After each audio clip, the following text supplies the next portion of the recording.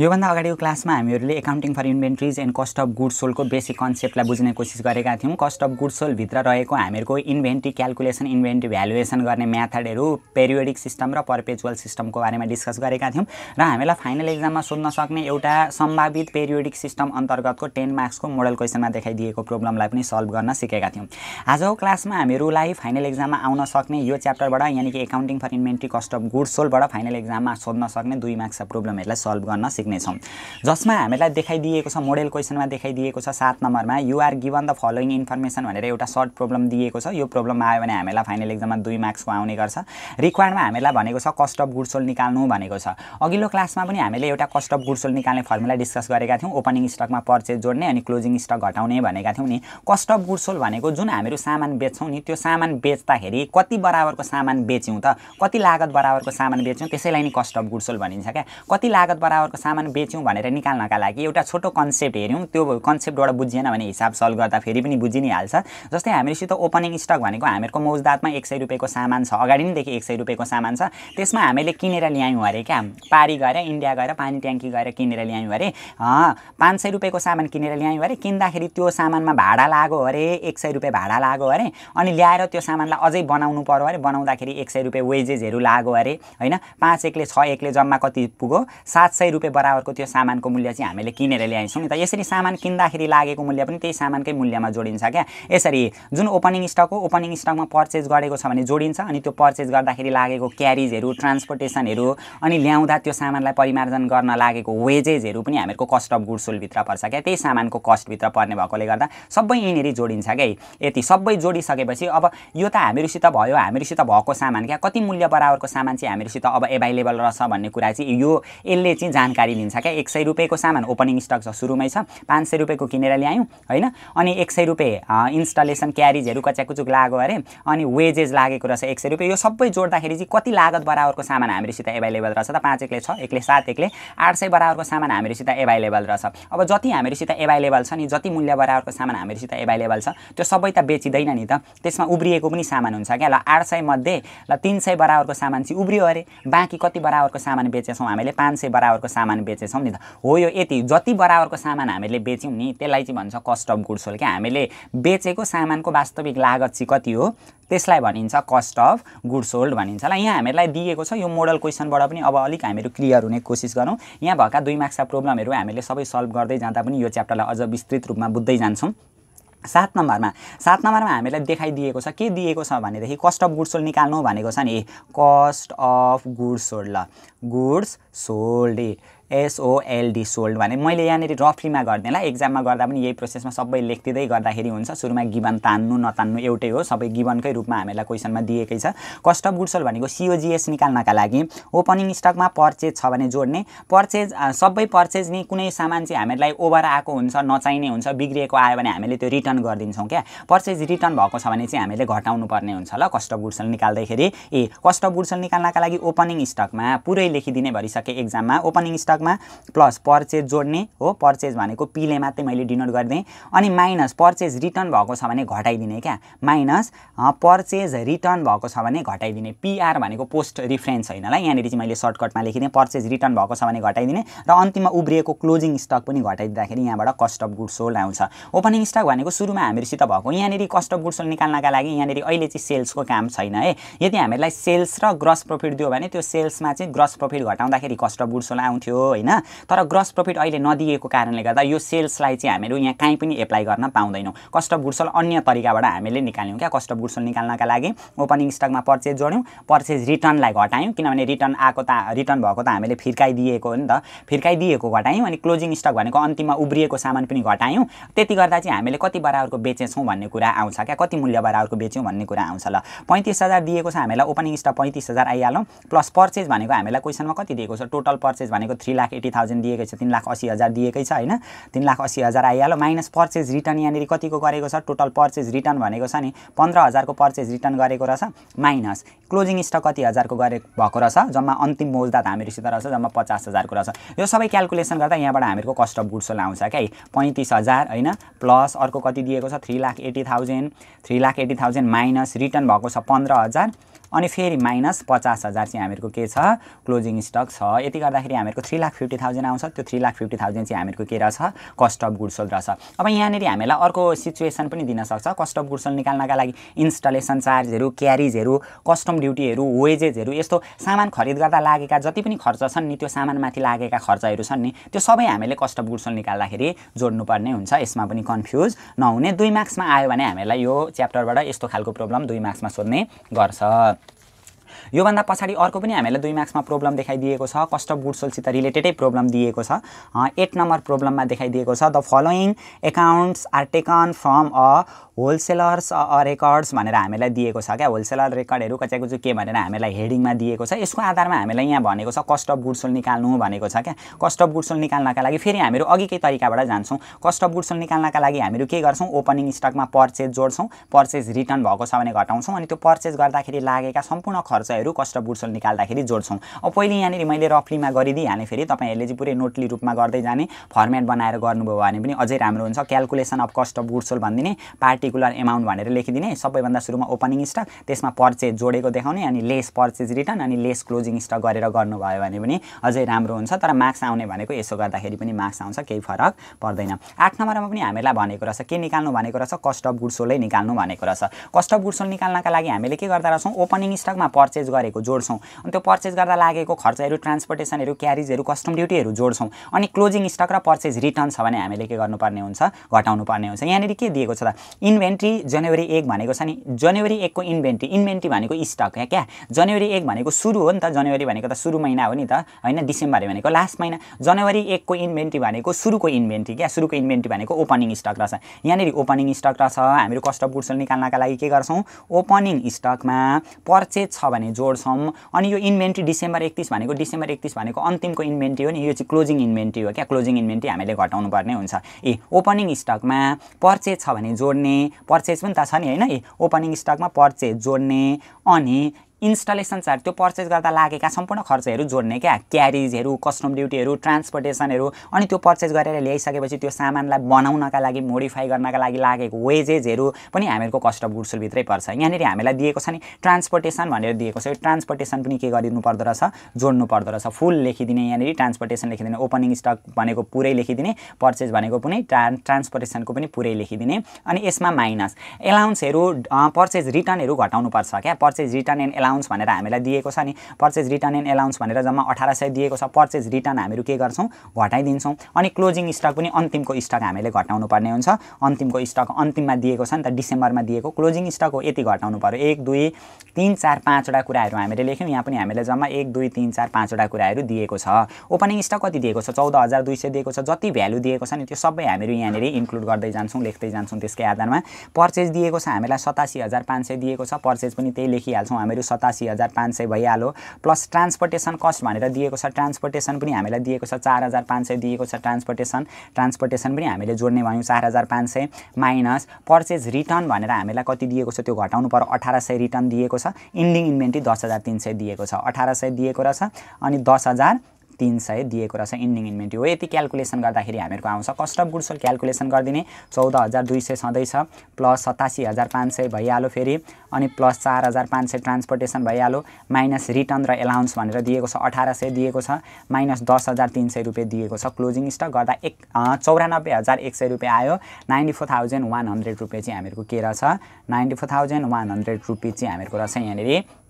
Close cost of गुड्सोल रहेछ। यसरी हामीहरू यहाँनिर कस्ट अफ गुड्सोल निकाल्न सक्छौँ। यो दुईवटा प्रब्लम भयो। हामीहरूको कस्ट अफ गुड्सोलसित रिलेटेड प्रब्लम दिएको रहेछ हामीलाई मोडल क्वेसनमा सात आठदेखि अब नौ नम्बरमा हामीहरू फेरि जान्छौँ। नौ नम्बर मोडल प्रब्लममा हामीलाई के भनिदिएको छ भने ग्रस प्रफिट रेसियो भनेको छ। ग्रस प्रफिट रेसियो भन्नु र ग्रस प्रफिट मार्जिन भन्नु एउटै हो। यहाँनिर दिएको छ नि हामीलाई सेल्स रिभेन्यू दिएको छ। सेल्स दिएको रहेछ जम्मा हामीलाई पाँच लाख रुपियाँ सेल्स दिएको रहेछ होइन? अनि नेट पर्चेज भनेर दिएको रहेछ। तिन लाख पैँसठी हजार पर्चेज दिएको रहेछ हो। ओपनिङ स्टक पनि दिएको रहेछ। क्लोजिङ क्लोजिङ स्टक पनि दिएको रहेछ। ग्रस प्रफिट मार्जिन निकाल्नु भनेको रहेछ नि। पहिले फर्मुला लेखिदिइहालेन। मैले नौ नम्बरमा दिएको रहेछ। ग्रस प्रफिट मार्जिन निकाल्ने पहिले फर्मुला लेखौँ। फर्मुला अनुसार हामीलाई मिलाउन पनि सजिलो हुन्छ। ए ग्रस प्रफिट प्रफिट मार्जिन ए ग्रस प्रफिट मार्जिन निकाल्नका लागि ग्रस प्रफिटका मुनि सेल्स इन्टु हन्ड्रेड भन्ने हाम्रो फर्मुला छ नि होइन? अस्तिको क्लासमा पनि हामीले डिस्कस गरेका थियौँ। ग्रस प्रफिट प्रोफिट मार्जिन भन्नु र ग्रस प्रफिट रेसियो भन्नु एउटै हो। अस्ति हामीले ग्रस प्रफिट मार्जिन निकाल्ने यहाँ पनि लेखेका थियौँ नि होइन? अघिल्लो क्लासमा ग्रस प्रफिटका पनि सेल्स इन्टु हन्ड्रेड हुन्छ। हामीलाई के के चाहिँदो रहेछ? ग्रस प्रफिट र सेल्स चाहिँदो रहेछ। इन्टु हन्ड्रेड त फर्मुलाकै भइहाल्यो। सेल्स त हामीलाई अलरेडी क्वेसनमा दिएकै छ क्या यहाँनिर। हामीलाई क्वेसनमा दिएकै छ नेट सेल्स रिभेन्यू भनेर पाँच लाख रुपियाँ सेल्स त दिएकै छ। तर ग्रस प्रफिट त हामीलाई दिएको छैन। ग्रस प्रफिट हामीले निकाल्नुपर्ने हुन्छ क्या। कसरी ग्रस प्रफिट निकाल्ने त भनेदेखि ए वेयरमा जाने यसरी वेयरमा। यो ग्रस प्रफिट नि ग्रस प्रफिट दिएन भनेदेखि ग्रस प्रफिट निकाल्नका लागि सेल्समा नि कस्ट अफ गुड सोल्ड घटायो भने नि ग्रस प्रफिट आउँछ क्या। सेल्समा कस्ट अफ गुड सोल्ड घटाइदियो भने जहिले पनि ग्रस प्रफिट आउँछ। अब कस्ट अफ गुड सोल्ड कति हो त हामीलाई यो पनि त दिएको छैन। सेल्स त हामीलाई दियो अरे ल त्यो त हामीहरू भ्यालु लेख्न सक्छौँ। नेट सेल्स भनेर दिएकै छ रिभेन्यू भनेर। पाँच लाख रुपियाँ हामीलाई नेट सेल्स रिभेन्यू दिएकै छ। सेल्सको भ्यालु लेख्न सकिहाल्छौँ। यहाँनिर कति लेख्छौँ? पाँच लाख रुपियाँ minus cost of good sold त दिएको छैन। नदिँदाखेरि हामीलाई मन परि भ्यालु त हाल्न पाइएन। अब कस्ट अफ गुड सोल्ड फेरि निकालिदिने क्या? कस्ट अफ गुड्स निकाल्ने फर्मुला हामीहरूको ओपनिङ स्टकमा पर्चेज जोडेर माइनस क्लोजिङ स्टक घटायो भने जहिले पनि कस्ट अफ गुड्स आउँछ। हो यो फर्मुलाबाट जानुपर्ने हुन्छ क्या? यो प्र्याक्टिस गरेपछि आफै आउँदै जान्छ तपाईँहरू पनि प्र्याक्टिस गर्दै जानु। यहाँनिर दिएको छ ओपनिङ स्टक भनेको पैँतिस हजार हामीलाई दिएको छ। पैँतिस हजारको आउँछ यहाँनिर पैँतिस हजार आइहाल्यो। पर्चेज हामीलाई दिएको छ। कति दिएको छ त पर्चेजको भ्यालु यहाँनिर? नेट पर्चेज भनेर तिन लाख पैँसठी हजार दिएको छ। ओपनिङ स्टकमा पर्चेज तिन लाख पैँसठी हजार हामीले जोड्न सकिहाल्यौँ। माइनस क्लोजिङ स्टक हामीले घटाउनु पर्ने हुन्छ। क्लोजिङ स्टक दिएको छ यहाँनिर कति दिएको छ? पचास हजार क्लोजिङ स्टक दिएको छ। त्यो क्लोजिङ स्टकलाई हामीहरू यहाँनिर घटाइदिन्छौँ। पचास हजार कस्ट अफ बुड्सोल निकाल्न सकिहाल्छौँ। कति आउँछ त? पैँतिस हजार दिएकै छ। Thirty five thousand plus three lakh sixty five thousand minus fifty thousand गर्दाखेरि आउँछ हामीहरूको थ्री लाख फिफ्टी थाउजन्ड आउने रहेछ। यहाँनिर थ्री लाख फिफ्टी थाउजन्ड आयो हामीहरूको cost of goods sold gross profit भनेको सेल्समा कस्ट अफ बुड्सोल घटाएका छौँ। थ्री लाख फिफ्टी थाउजन्ड लेखिदिन्छौँ। फाइभ लाखमा थ्री लाख फिफ्टी थाउजन्ड घटाउँदाखेरि वान लाख फिफ्टी थाउजन्ड हामीहरूको आयो के आयो? ग्रस प्रफिट आयो। वान लाख फिफ्टी थाउजन्ड आयो। अब हामीहरू ग्रस प्रफिट मार्जिन निकाल्न सकिहाल्छौँ। One lakh fifty thousand divided by sales भनेको जम्मा कति दिएको छ? फाइभ लाख दिएको छ इन्टु हन्ड्रेड पाँचले पन्ध्रलाई कति खेप काट्छ? तिन खेप। थर्टी पर्सेन्ट चाहिँ हामीहरूको के रहेछ? यहाँनिर ग्रस प्रफिट मार्जिन रहेछ। यसरी हामीहरू निकाल्न सक्छौँ। ग्रस प्रफिट मार्जिन निकाल्न सक्छौँ। यहाँनिर हामीलाई एन्सर पनि दिएको छ थर्टी पर्सेन्ट यो भयो हामीहरूको नौ नम्बरको प्रब्लम भयो। अब यहाँदेखि अर्को प्रब्लम पनि हामीलाई दिएको छ। अर्को प्रब्लममा हामीलाई टेन नम्बरमा दिएको छ A company limited began the year with एक lakh thirty thousand in merchandise inventory भनेको छ नि बिगेन भनेको सुरुवात गरेको रहेछ सुरु ओपनिङ गरेको रहेछ। एक लाख तिस हजार इन मर्चेन्डाइज इन्भेन्ट्री भनेको छ नि व्यापारिक मौजदातका साथ चाहिँ मौजदातबाट चाहिँ सुरुवात गरेको रहेछ। बिगिनिङ इन्भेन्ट्री बिगेन भनेको सुरुमा भएको inventory beginning inventory opening stock हो भन्न खोजेको। अनि and ended the year with rupees एक लाख नब्बे हजार भनेको छ नि। इन्डिङमा चाहिँ रहेछ एक लाख नब्बे हजार। बिगिनिङ इन्भेन्ट्री रहेछ एक लाख तिस हजार। यो तानिदिइहालौँ ल। बिगिनिङ इन्भेन्ट्री हामीलाई कति दिएको रहेछ? यो तान्यौँ भने भरे सजिलो हुन्छ। सुरुमा लेख्छौँ हामीहरू बिगिनिङ इन्भेन्ट्री। इन्भेन्ट्री दिएको रहेछ कति दिएको रहेछ वान लाख थर्टी थाउजन्ड दिएको रहेछ बिगिनिङ इन्भेन्ट्री अर्को दिएको रहेछ इन्डिङ दिएको रहेछ इन्भेन्ट्री दिएको रहेछ इन्डिङ इन्भेन्ट्री दिएको रहेछ हामीलाई वान लाख नाइन्टी थाउजन्ड दिएको रहेछ इन्डिङ इन्भेन्ट्री अब यसको आधारमा के भनेको छ sales and cost of good sold भनेर दिएको छ सेल्स दिएको रहेछ नौ lakh cost of good sold दिएको रहेछ हामीलाई कति छ लाख चालिस हजार एउटा दिएको रहेछ सेल्स दिएको रहेछ सेल्स दिएको रहेछ नौ लाख होइन cost of good sold COGS भनेको कति दिएको रहेछ छ लाख चालिस हजार दिएको रहेछ र यसको आधारमा हामीलाई निकाल्नु भनेको छ inventory turnover ratio and length of inventory cycle भनेको छ नि। इन्भेन्ट्री टर्नओभर रेसियो निकाल्नु पऱ्यो क्या इन्भेन्ट्री टर्नओभर रेसियो भनेको आइटिओआर इन्भेन्ट्री टर्नओभर रेसियो र लेन्थ अफ इन्भेन्ट्री साइकल भनेको छ नि। Inventory cycle inventory cycle length of inventory cycle हो यो दुईवटा कुरा हामीले निकाल्नु पर्नेछ। अब इन्भेन्ट्री टर्नओभर रेसियो निकाल्नका लागि नि हामीले अस्ति एउटा फर्मुला लेखेका थियौँ। इन्भेन्ट्री टर्नओभर रेसियो निकाल्नका लागि कस्ट अफ गुड सोल्डका पनि एभरेज इन्भेन्ट्री हुन्छ भनेका थियौँ नि। हो यो फर्मुलालाई पनि फलो गर्दै जाने। एक्जाममा आयो भने हामीलाई यही प्याटर्नमा आउने गर्छ। त्यही भएर अलिकति फर्मुला हामीले तयारी छैन हामीहरूको भनेदेखि नि दुई मार्क्स त्यत्तिकै हामीले बिगार्नु पर्ने हुन्छ छोड्नुपर्ने हुन्छ। फर्स्टमा हामीले लेख्छौँ inventory turnover ratio ITOR inventory turnover ratio निकाल्नका लागि कस्ट अफ गुड सोल्डका मुनि एभरेज इन्भेन्ट्री हुन्छ होला एआई भनेको एभरेज इन्भेन्ट्री लेखेको पुरै लेखिदिने एक्जाममा चाहिँ कस्ट अफ गुडसोल भनेको कति दिएको छ त? कस्ट अफ गुडसोल भनेको त छ लाख चालिस हजार दिएको छ हामीलाई डाइरेक्ट होइन? Divided by average inventory average inventory भनेको नि हामीलाई दुईवटा इन्भेन्ट्री दिएको छ नि। एउटा बिगिनिङ इन्भेन्ट्री दिएको छ अर्को इन्भे इन्डिङ इन्भेन्ट्री दिएको छ। दुइटैको एभरेज क्या? एभरेज निकाल्नका लागि दुईवटा जोडेर दुईले भाग गरिदिने। वेयरमा जानेलाई यसलाई पनि एभरेज इन्भेन्ट्री निकाल्नका लागि हामीले एभरेज निकाल्नका लागि दुईवटा दिएको छ नि। दुईवटा जोडेर दुईले भाग गर्नुपर्छ। तिनवटाको एभरेज दिएको छ भने तिनवटा जोडेर तिनले भाग गरिदिने हो क्या? एभरेज निकाल्नका लागि। त्यही भएर एक लाख तिस हजार दिएको छ एउटा प्लस अर्को दिएको रहेछ एक लाख नब्बे हजार दिएको रहेछ। डिभाइड बाई एभरेज निकाल्न दुइटैको एभरेज क्या एभरेज पोइन्ट निकाल्नु पऱ्यो दुईले भाग गरिदिनु पऱ्यो एक लाख तिस हजार प्लस एक लाख नब्बे हजार दुइटै जोडिदिने डिभाइडेड बाई दुईले भाग गर्दाखेरि आउँछ एक लाख साठी हजार रुपियाँ चाहिँ हामीहरूको रहेछ। एभरेज इन्भेन्ट्री रहेछ एक लाख साठी हजार। गर्दाखेरि हामीहरूको छ लाख चालिस हजारलाई एक लाख साठी हजारले भाग गर्दा सोह्र चौको चौसठी फोर टाइम्स आउँदो रहेछ क्या। टर्न ओभर भनेको inventory turn over turn out भएछ क्या। छ चारचोटि चाहिँ हामीहरूको इन्भेन्ट्रीको कारोबार भएको रहेछ भनेर हामीले भन्नुपर्ने हुन्छ। यसरी हामीले फोर टाइम्स निकाल्न सक्छौँ। यहाँभन्दा पछाडि अर्को पनि हामीलाई सोधेको छ लेन्थ अफ इन्भेन्ट्री साइकल भनेको छ नि। लेन्थ अफ इन्भेन्ट्री साइकल पनि हामीले निकाल्नुपर्ने छ। अघि हामीले वार्ड गरेका थियौँ नि जिटिएस length of inventory inventory cycle length of inventory cycle निकाल्नका लागि डेज इन इयरका मुनि डेज इन इयरका मुनि इन्भेन्ट्री टर्नओभर हुन्छ क्या? इन्भेन्ट्री टर्नओभर रेसियो अस् अघिल्लो क्लासमा पनि हामीले यो यसको बारेमा छलफल गरेका थियौँ। लेन्थ अफ इन्भेन्ट्री साइकल निकाल्नका लागि डेज इन इयरका पनि इन्भेन्ट्री टर्नओभर रेसियो हुन्छ। डेज इन इयर भनेको वर्षमा कति दिन हामीलाई क्वेसनमा दिएन भने तिन सय साठी दिन अथवा तिन सय पैँसठी दिन हामीले सपोज गरिदिनु पऱ्यो ल three hundred sixty five days days in year भनेको थ्री हन्ड्रेड सिक्सटी फाइभ अथवा थ्री हन्ड्रेड सिक्सटी डेज भनेर हामीले गर्नुपर्ने हुन्छ। डिभाइड बाई इन्भेन्ट्री टर्नओभर भनेको कति आउँछ त हामीहरूको? फोर टाइम्स आएको छ नि इन्भेन्ट्री टर्नओभर ल। Three hundred sixty five divided by four three sixty five divided by four गर्दाखेरि हामीहरूको आउँछ। Ninety one point two five आएको छ नि ninety one point two five भनेको एप्रोक्स लगभग नाइन्टी वान डेज रहेछ क्या। नाइन्टी वान डेज अनि चार भागको एक भाग दिन भन्न खोजेको रहेछ। यो चाहिँ एप्रोक्स मानेर हामीले नाइन्टी वानै डेज पनि लेख्न सक्छौँ। अथवा थ्री हन्ड्रेड सिक्सटी डेजलाई आधार मान्यौँ भने पनि थ्री सिक्सटीका मुनि फो गर्दाखेरि चार नवाङ छत्तिस नाइन्टी डेज आउँदो रहेछ। त्यसो गर्दा पनि हुन्छ। हामीलाई क्वेसनमा तोकेर यति दिन मान्नु भनेको छ भने चाहिँ हामीले त्यति मान्नु पऱ्यो होइन भने चाहिँ यसरी पनि हामीहरू यसलाई सल्भ गर्न सक्छौँ। यो त भयो हामीलाई दिएको थियो मोडल क्वेसनमा अहिले हामीले छलफल गऱ्यौँ। कति नम्बरको क्वेसन छलफल गऱ्यौँ? टेन नम्बरको क्वेसन छलफल गऱ्यौँ होला। इलेभेन नम्बरमा पनि हामीलाई त्यस्तै खालको क्वेसन दिएको छ। एघार नम्बरको पनि अब हामीहरू छलफल गरिहाल्नेछौँ जसमा हामीलाई भनेको छ a company has annual sales भनेर दिएको रहेछ ल सेल्स एघार नम्बरको पनि गिभन तानिदिइहालौँ यहाँनिर। हामीलाई दिएको रहेछ सेल्स दिएको रहेछ एउटा। हो कति दिएको रहेछ जम्मा? हामीलाई सेल्स दिएको रहेछ थ्री लाख रुपिस सेल्स दिएको रहेछ। सेल्स लेखिहाल्छौँ यहाँ हामीहरू आएर। तिन लाख रुपियाँ सेल्स लेखिहाल्छौँ। सेल्सदेखि पछाडि अर्को पनि हामीलाई इन्फर्मेसन दिएको छ यहाँनिर it has thirty percent gross profit margin भनेको छ नि प्रोफिट मार्जिन क्या ग्रस प्रोफिट मार्जिन एक्जाममा पुरै लेखिदिने कति पर्सेन्ट दिएको रहेछ? थर्टी पर्सेन्ट प्रोफिट कतिखेर हुन्छ? जब हामीले बेच्छौँ त्यतिखेर प्रोफिट हुने हो नि त। है जति सेल्स छ नि त्यो सेल्सको थर्टी पर्सेन्ट चाहिँ ग्रस प्रोफिट रहेछ। अब ग्रस प्रोफिटको एमाउन्ट चाहिँ कति हो त भन्दाखेरि थ्री लाख दिएको छ थ्री लाखको थर्टी पर्सेन्ट चाहिँ ग्रस प्रोफिटको एमाउन्ट हो क्या। तिन लाखको तिस पर्सेन्ट भनेको कति हुन्छ? तिस त्यहाँ नब्बे हजार चाहिँ हामीहरूको ग्रस प्रोफिट रहेछ। यति चाहिँ ग्रस प्रोफिट भएको रहेछ कुल नाफा चाहिँ यति रहेछ भन्न खोजेको जति बिक्री गरेको छ बिक्री गरेपछि मात्रै हामीलाई नाफा नोक्सान थाहा हुने हो नि त। बेच्दै नबेची बस्यौँ भने त नाफा नोक्सान कहाँबाट थाहा हुनु? यो जुन ग्रस प्रोफिट मार्जिन दिन्छ नि हामीलाई net profit margin gross profit margin दिएको हुन्छ नि त्यो जहिले पनि सेल्सबाट क्रिएट हुन्छ ल। तिन लाख रुपियाँ सेल्स रहेछ तिन लाखको तिस पर्सेन्ट भनेको नब्बे हजार चाहिँ ग्रस प्रोफिट रहेछ। त्यहाँभन्दा पछाडि हामीलाई के भनेको छ भनेदेखि इट ह्याज चालिस हजार टोटल एसिड्स भनेको छ। चार लाख टोटल एसिड्स भनेको रहेछ। टोटल एसिड्स हामीलाई फोर लाख दिएको छ। टोटल एसिड्सको यहाँनिर काम पनि छैन होला। एन्ड सिक्सटी थाउजन्ड इन्भेन्ट्री भनेको रहेछ। इन्भेन्ट्री पनि हामीलाई दिएको रहेछ ल।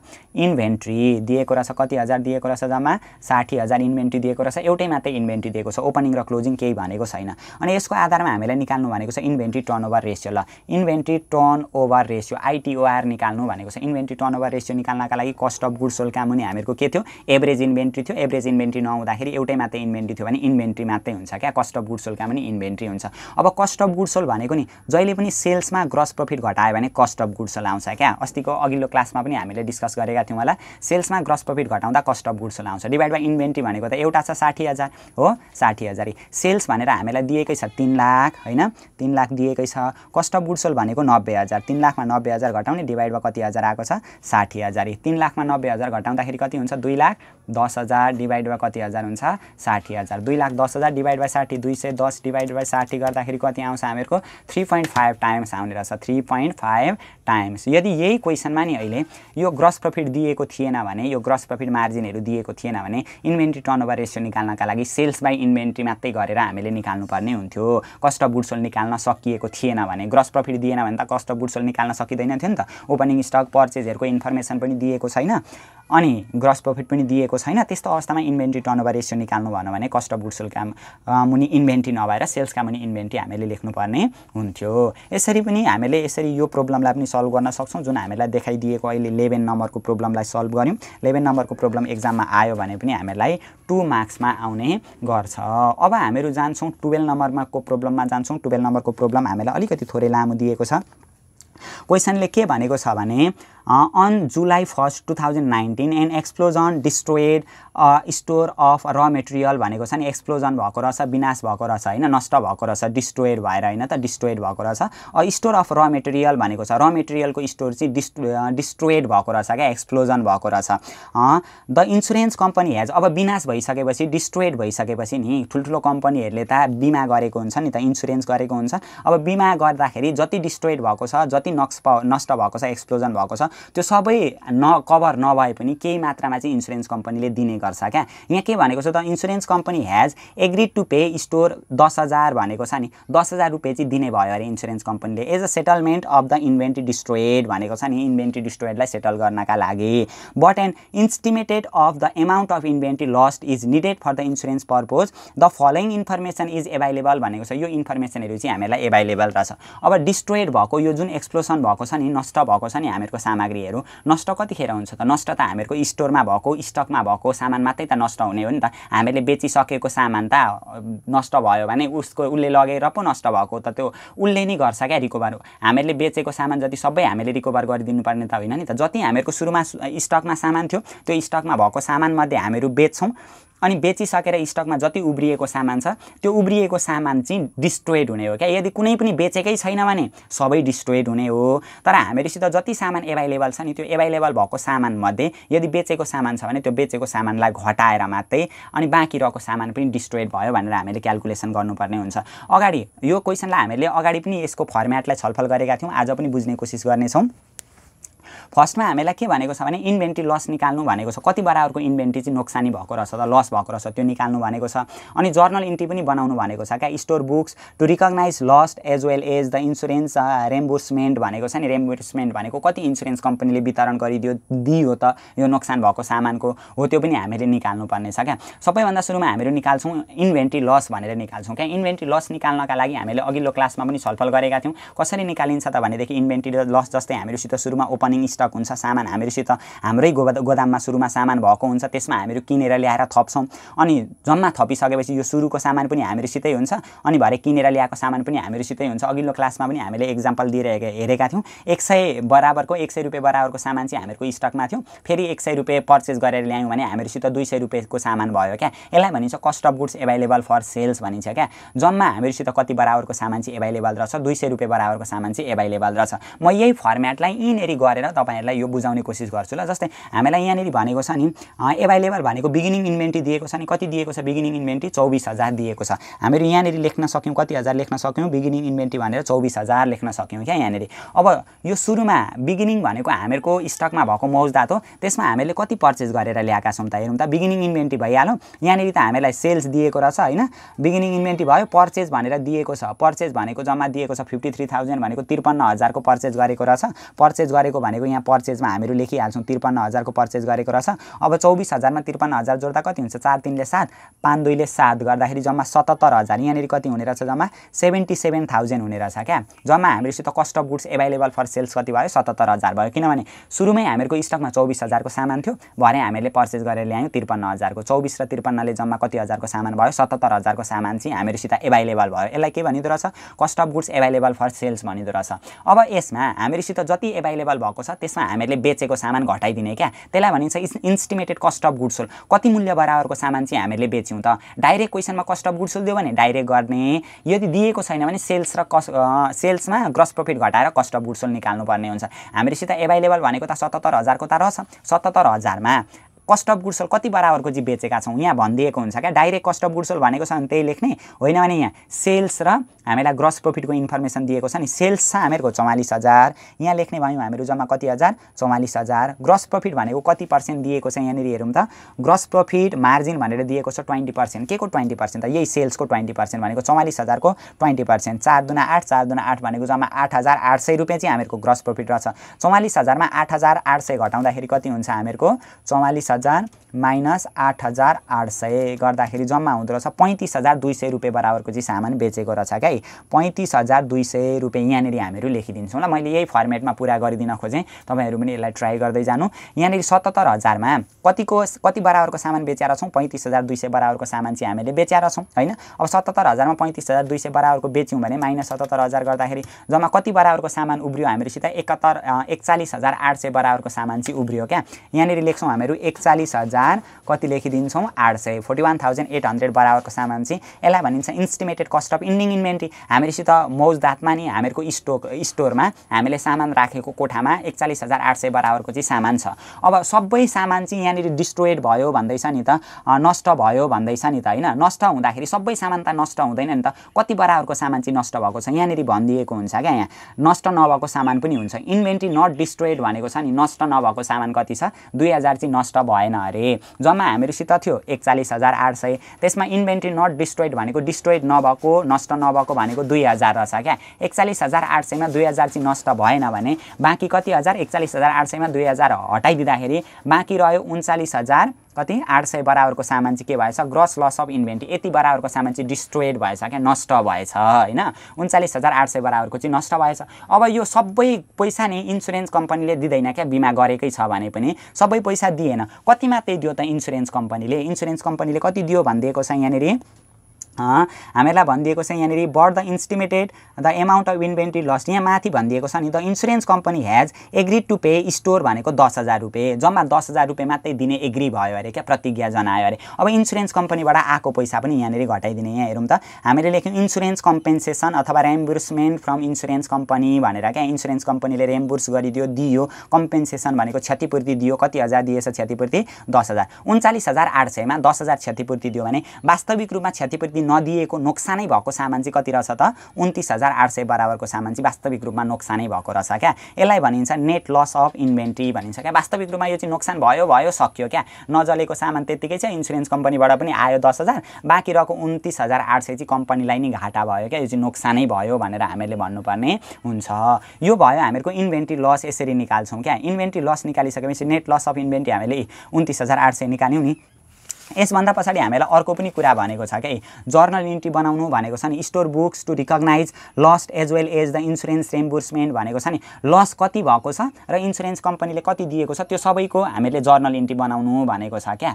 अब जर्नल बनाउँदाखेरि कसरी बनाउने भनेदेखि यहाँ हेर्ने ल डेट भनेको कहिले नोक्सानी भएको हो त कहिले जलेर नष्ट भएको हो डेट दिएको छ भने त्यो डेट लेखिदिने कहिले फर्स्ट जुलाई दुई हजार उन्नाइस भनेको छ नि जर्नल इन्ट्रीको फर्मेट बनाउने date account title and explanation post reference DR rupees र सिआर रुपिज भनेर एउटा जर्नलको फर्मेट बनाइदिनु। म यहाँनिर गरिदिनँ यहाँनिर डेट लेखिदिनु। डेटमा कति दिएको छ? डेट यहाँनिर दिएको छ नि? कहिले नष्ट भएको त्यो डेट लेखिदिनु। जुलाई दुई हजार उन्नाइस भनेको छ जुलाई फर्स्ट होइन? अनि त्यो डेट लेखिसकेपछि अब यहाँ हेरौँ जर्नल कसरी बनाउने त भनेदेखि हामीलाई के थाहा छ भने all expenses and losses account त डेबिट हो होइन? नोक्सानी र खर्च जति सबै डेबिट गर्नु पऱ्यो हामीहरूको वास्तविक रूपमा नोक्सानी कति भएको रहेछ त? अहिले हेर्दाखेरि हामीहरूको वास्तविक रूपमा नोक्सानी यहाँ कति आयो? उन्तिस हजार आठ सय रुपियाँ चाहिँ नोक्सान भएछ नि त। इन्सुरेन्स कम्पनीले पनि दिएन डिस्ट्रोइड नभएको सामान डिस्ट्रोइड भएरै नष्ट भएको सामान चाहिँ उन्तिस हजार आठ सय रहेछ। नोक्सानीलाई जहिले पनि हामीले के गर्नुपर्छ? डेबिट गर्नुपर्छ कि? लस अन डिस्ट्रोइड अथवा loss on explosion account debit भनेर हामीले लेख्नु पऱ्यो क्या। एक्सप्लोजन एकाउन्ट के लेख्नु पऱ्यो डेबिट लेख्नु पऱ्यो कति बराबरको? उन्तिस हजार आठ सय बराबरको नोक्सान भयो होइन? अनि यसमा फेरि के गर्ने? जम्मा हामीलाई इन्सुरेन्स कम्पनीले जति दिएको छ त्यो डेबिट गर्नु पऱ्यो इन्सुरेन्स कम्पनी एकाउन्ट डेबिट किनभने इन्सुरेन्स कम्पनीबाट हामीहरूको पैसा आयो नि त। वाट कम्स इन डेबिट कहाँबाट पैसा आउने भयो? इन्सुरेन्स कम्पनीबाट पैसा आउने भयो। एग्री गर्यो क्या? म म तँलाई पैसा दिन्छु भनेर एग्री जनाइसक्यो प्रतिज्ञा। दिइसकेको छैन। अब हामीहरू इन्सुरेन्स कम्पनीबाट पैसा पाउँछौँ। हामीहरूको सम्पत्ति रहेछ क्या यहाँनिर? कति हजार रहेछ दस हजार बराबरको रहेछ। टु इन्भेन्ट्री एकाउन्ट भनेर हामीले लेख्नुपर्ने हुन्छ। इन्भेन्ट्री एकाउन्ट भनेर लेखिदिने। इन्भेन्ट्री एकाउन्ट चाहिँ कति हो त भनेदेखि जम्मा कति बराबरको इन्भेन्ट्री चाहिँ नोक्सान भएको हो त हामीहरूको? उन्चालिस हजार आठ सय बराबरको चाहिँ इन्भेन्ट्री गयो नि त। यति त इन्भेन्ट्री त गयो नि त। What goes out credit? उन्चालिस हजार आठ सय बराबरको चाहिँ इन्भेन्ट्री गएछ। यसरी हामीहरू जर्नल इन्ट्री बनाउन सक्छौँ। ल loss on explosion account debit भनेर लेख्यौँ। वास्तविक रूपमा नोक्सानी भएको रहेछ। उन्तिस हजार आठ सय। इन्भे इन्सुरेन्स कम्पनीबाट आउने रहेछ जम्मा दस हजार। किनभने इन्सुरेन्स कम्पनीले पैसा दिने प्रतिज्ञा जनायो भने हामीहरूको सम्पत्ति त अब इन्सुरेन्स कम्पनीमा रहेछ दस हजार ऊबाट त पैसा पाउँछौँ। त्यही भएर सम्पत्ति भनेको डेबिटमा हुन्छ इन्सुरेन्स कम्पनी एकाउन्ट डेबिट। अनि टु हामीहरूको कति बराबरको इन्भेन्ट्री चाहिँ सखा भयो त? जम्मा त उन्चालिस हजार आठ सय बराबरको इन्भेन्ट्री सखा भएको हो नि त। What goes out credit. के गयो त हामीहरूको इन्भेन्ट्री गयो डिस्ट्रोइड भएर? कति? उन्चालिस हजार आठ सय। यसरी हामीहरू नेरेसन लेख्न सक्छौँ। र यो भयो हामीले एज अ सर्ट प्रब्लमहरू डिस्कस गऱ्यौँ। क्वेसन ब्याङ्कबाट accounting for inventories and cost of गुड्सलबाट योबाट फाइनल एक्जाममा आउन सक्ने सम्भावित तेह्र नम्बरको प्रब्लमलाई हामीले अघिल्लै क्लासमा डिस्कस गरेर हेरेका थियौँ। योभन्दा पछिल्लो क्लासमा हामीहरू चौध नम्बरदेखि लगायत उँधोका प्रब्लमहरू सबैलाई कभर गर्ने कोसिस गर्नेछौँ र बाँकी रहेका च्याप्टरहरूलाई पनि एक्जाम आउनुभन्दा अगाडि कभर गर्ने कोसिस गर्नेछौँ। च्यानलमा रहिरहनका लागि च्यानललाई सब्सक्राइब गर्नुहोस् र नजिकै रहेको बेल आइकनलाई पनि दबाइदिनुहोस्।